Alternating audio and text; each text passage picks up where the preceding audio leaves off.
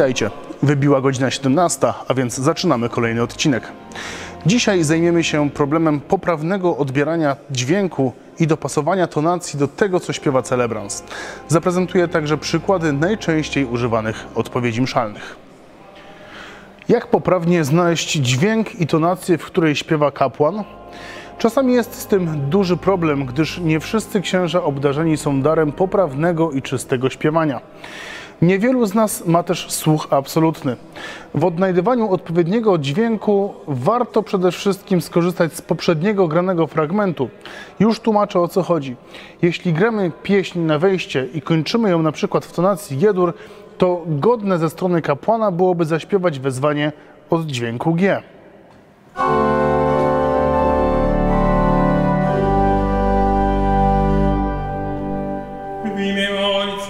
Syna i Ducha Świętego.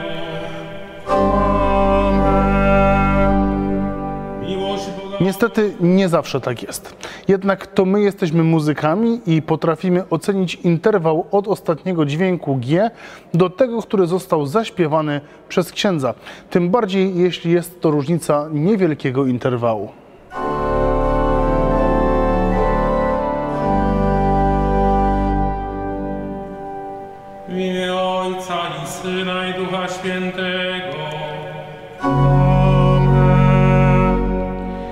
Czasami nie ma wiele czasu na znalezienie dźwięku, więc ta metoda jest bardzo dobra.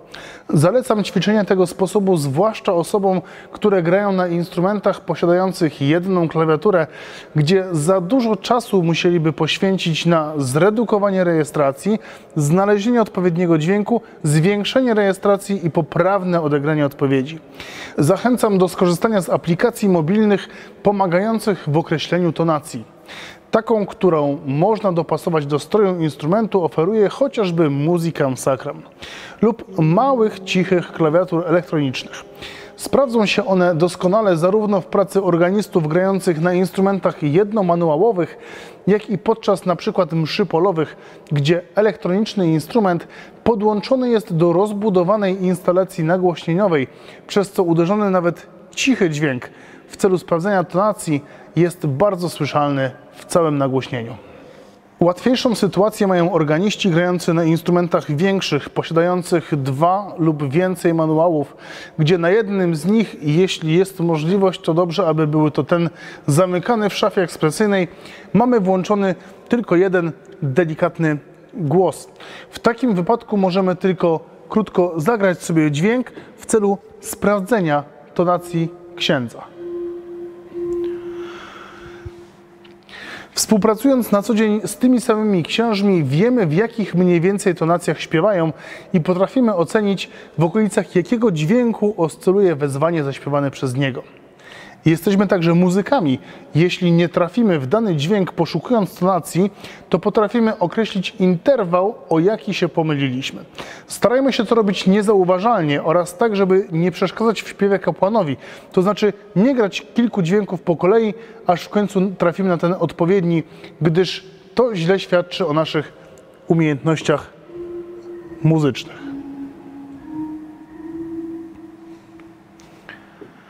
Jeśli zdarza się, że kapłan śpiewa między dźwiękami, powiedzmy między G a GIS, to lepiej odegrać w tonacji niższej G. Warto także ze sprawdzeniem tonacji wyczekać prawie do końca, gdyż może się okazać, że kapłan zmieni nieumyślnie tonację pod koniec śpiewu. który z Tobą żyje i króleje w jedności Ducha Świętego, Bóg przez wszystkie wieki wieków. Sytuacjach dialogowanych, takich jak na przykład dialog przed prefacją, jeśli kapłan zmieni tonację o jakiś interwał, to powinniśmy się do niego dopasować i odegrać odpowiedź w nowej tonacji. Pan z Wami, I z duchem Twoim górę serca. wznosimy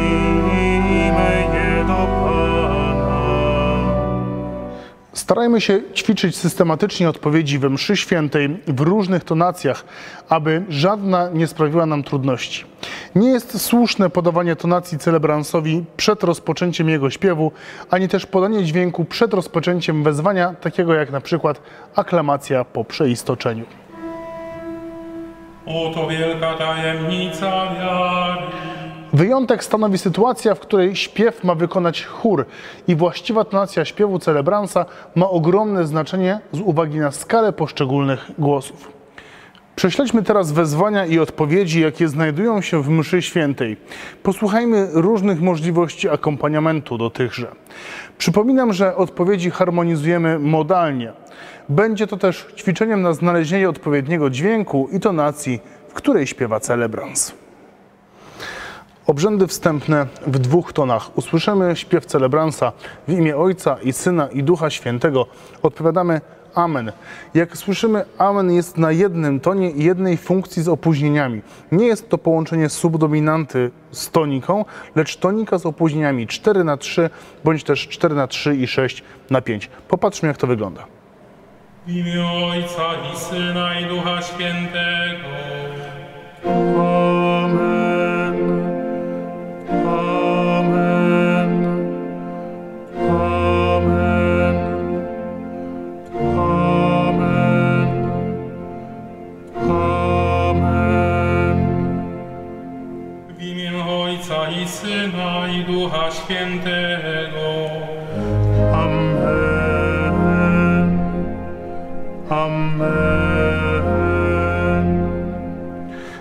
Następnie wezwanie Pan z wami, również w dwóch tonach. I z duchem Twoim, to jest odpowiedź, usłyszymy tutaj wyraźny akcent na sylabę du i two. Sylaba i jest krótka. I z duchem Twoim, i z duchem Twoim, jakby po pauzie. Można więc odpowiedź ten zagrać zaczynając akompaniament od raz albo od przedtaktu. Zakończenie może być durowe lub molowe. Posłuchajmy. Pan z wami. i z duchem Twoim, i z duchem Twoim, i z duchem Twoim, i z duchem Twoim, Pan z wami. i z duchem Twoim, i z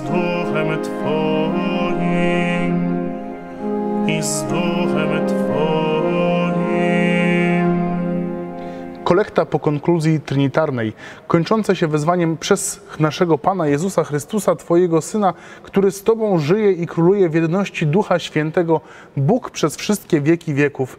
Odpowiadamy Amen. We wszystkich odpowiedziach tego typu po konkluzji trinitarnej jest taka sama odpowiedź Amen. Zagrajmy to w następujący sposób. Przez Chrystusa Pana naszego. Amen. Amen. Dialog przed Ewangelią. Kapłan lub diakon śpiewa jeden z czterech tonów ewangelicznych. Pan z wami, odpowiadamy i z duchem Twoim. Następnie kontynuacja słowa Ewangelii według świętego na przykład Jana. Odpowiadamy chwała Tobie, Panie. Tutaj tak samo zaakcentujmy trzy sylaby w każdym wyrazie. Chwa, to, pa. Chwała Tobie, Panie. Układ akompaniamentu jest tutaj dowolny, czy rozległy, czy skupiony. Zobaczmy na przykładzie. Pan z wami. I z duchem Twoim. Słowa Ewangelii według świętego Mateusza. Chwała Tobie, Panie. Pan z wami. I z duchem Twoim. Z duchem Twoim. Słowa Ewangelii według świętego Mateusza. Chwała Tobie, Panie. Pan z wami. I z duchem Twoim. Słowa Ewangelii według świętego Mateusza. Chwała Tobie, Panie. Dialog po Ewangelii podobnie cztery tony. Kapłan śpiewa oto słowo Pańskie, odpowiadamy chwała Tobie Chryste. Podobnie jak w odpowiedzi do wezwania przed Ewangelią, tutaj śpiewamy akcentowane sylaby chwa, to, chry. Chwała Tobie Chryste. Popatrzmy. Oto słowo Pańskie. Chwała Tobie, Chryste. Chwała Tobie, Chryste. Oto słowo Pańskie. Chwała Tobie, Chryste. Chwała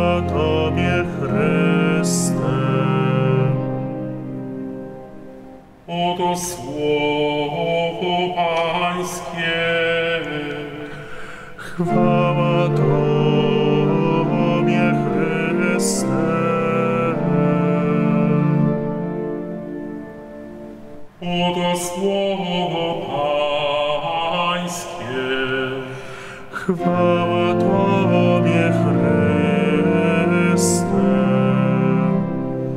Modlitwa nad darami zakończona jest konkluzją trinitarną. Odpowiedź Amen pokazałem przed chwilką, jak należy wykonywać. Dialog przed prefacją następuje. Pan z wami i z duchem twoim, akcentowane tak samo jak we wszystkich odpowiedziach tego typu. W górę serca odpowiedź wznosimy je do Pana.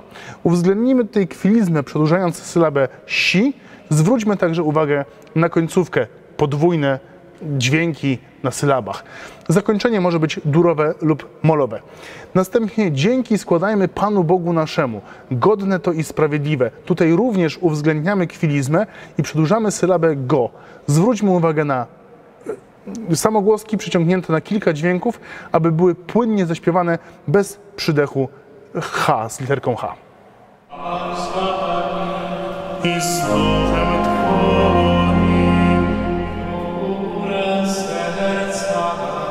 wznosimy je do. Dzięki Panu to.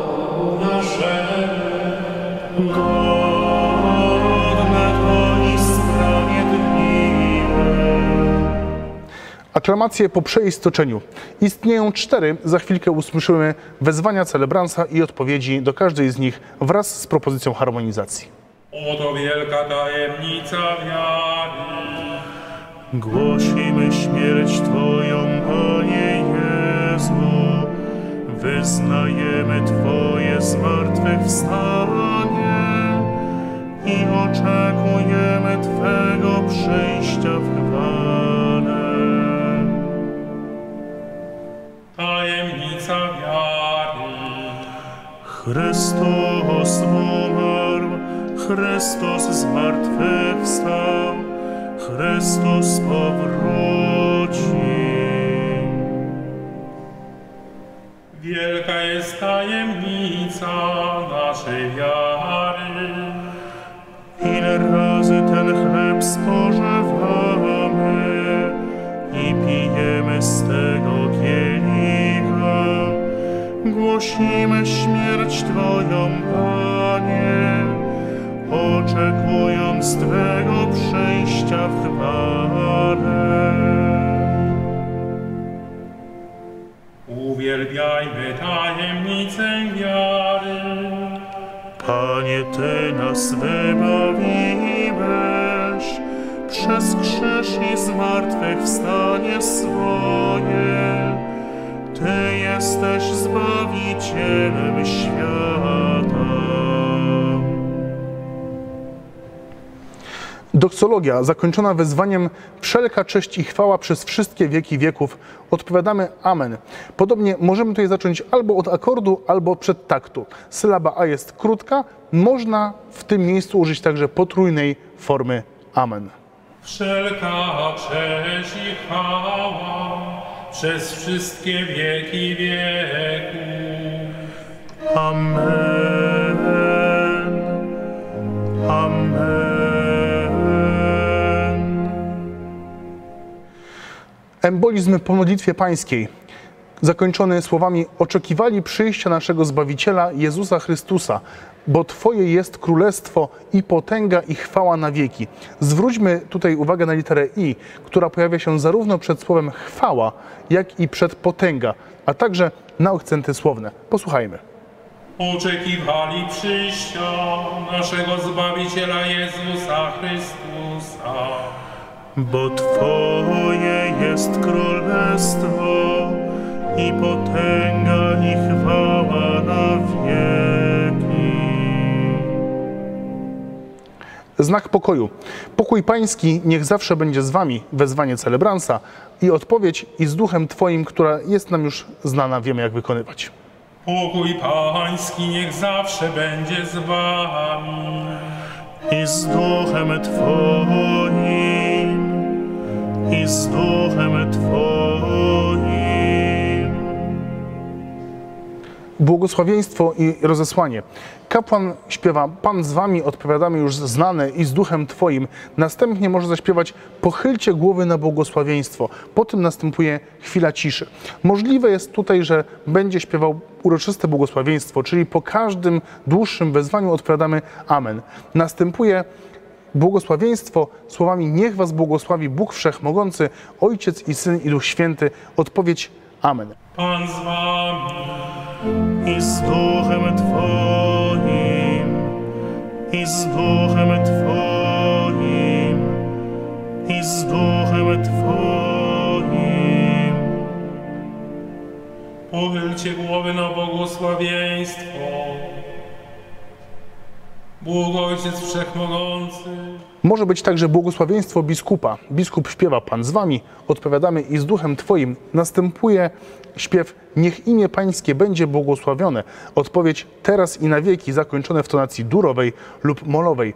Wspomożenie nasze w imieniu Pana wraz z odpowiedzią, który stworzył niebo i ziemię, zakończone również w trybie dur lub mol.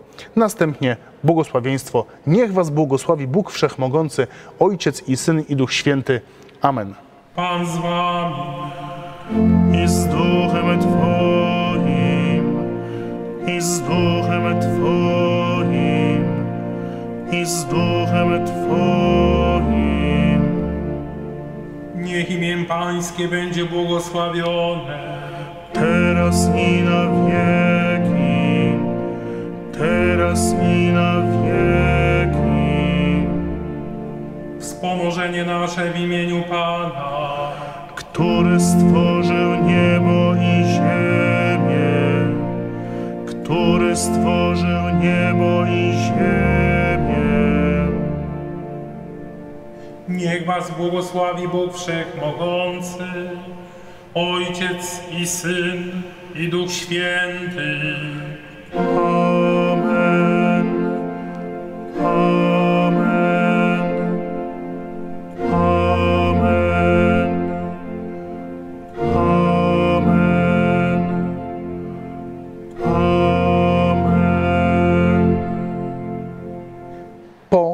Błogosławieństwie kapłana lub celebransa następuje rozesłanie. Idźcie w pokoju Chrystusa. Posłuchajmy, jak to brzmi w różnych tonach oraz z uroczystym wielkanocnym Alleluja. Idźcie w pokoju Chrystusa. Bogu niech będą dzięki. Idźcie w pokoju Chrystusa. Bogu niech będą dzięki. Bogu niech będą dzięki. Bogu niech będą dzięki. Bogu niech będą dzięki. Idźcie w pokoju Chrystusa. Bogu niech będą dzięki.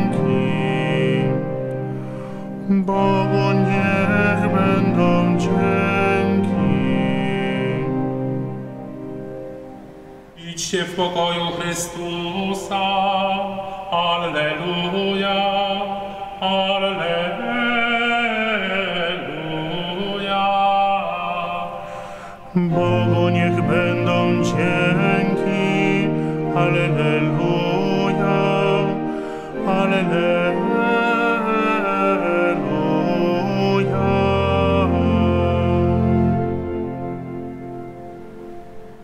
Błędem jest w odpowiedziach zmiana funkcji bądź akordu na każdą sylabę. Powoduje to zanik płynności w śpiewie i grze. Starajmy się raczej skupić na słowach kluczowych i je akcentować. Dzisiaj krótki temat, podpowiedź prawidłowego odnalezienia tonacji śpiewu celebransa. Warto to robić dobrze, gdyż bardzo źle brzmi wezwanie w jednej tonacji, a odpowiedź w innej. Zanalizowaliśmy także najczęściej używane odpowiedzi we mszy świętej. Podobnie należy postępować z innymi odpowiedziami, które nie zostały poruszone w tym odcinku. Do zobaczenia za tydzień o tej samej porze. W przyszłym odcinku poruszymy temat psalmu responsoryjnego, sekwencji, aklamacji przed Ewangelią oraz psalmów спорных.